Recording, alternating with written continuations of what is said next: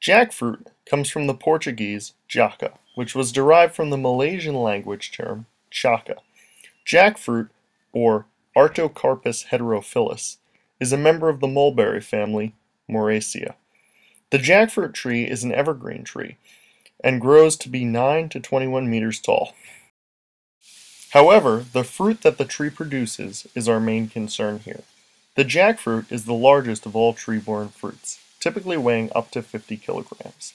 The jackfruit is filled with up to 500 seeds, each of which is 2 to 4 centimeters long and about 2 centimeters thick. Jackfruit is thought to have originated in the rainforest of the Western Ghats, a mountain range in western India. Today, it is found throughout Southeast Asia, as well as parts of Australia, Africa, Brazil, and the Caribbean. What these places have in common is the climate that the jackfruit can thrive in, humid and tropical.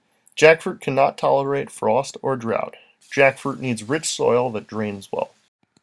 A jackfruit tree will produce around 150 fruits per year, but some trees may produce up to 500 fruits. Jackfruit is abundant as well as delicious. Despite the fact that unopened ripe jackfruit smells like decaying onions, it is a major food source in Southeast Asian cuisine. Its flesh is very sweet and is similar to pineapple and banana. When the jackfruit is fully grown but not yet ripe, its flesh tastes like meat and can be boiled and eaten as a vegetable. Once it has ripened, the jackfruit bulbs can be eaten raw, cooked in coconut milk to eat with curry, used to make ice cream, chutney, jam, or jelly, dried or fried to make chips, or fermented to make liquor. Its seeds may also be roasted and eaten or used to make flour. Jackfruit has other uses as well. In some places, the jackfruit is also used for its valuable wood, especially for construction and making furniture, masts, oars, and musical instruments.